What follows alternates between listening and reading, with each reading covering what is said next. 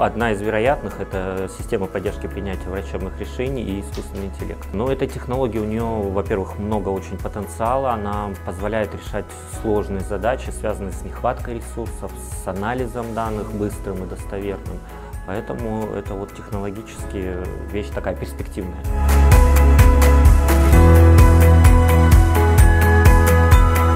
Да, очень много было докладов практических, обзорных. Интересные ребята, стартаперы выступали со своими проектами.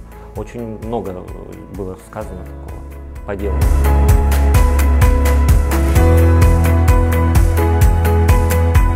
Не могу пока сказать.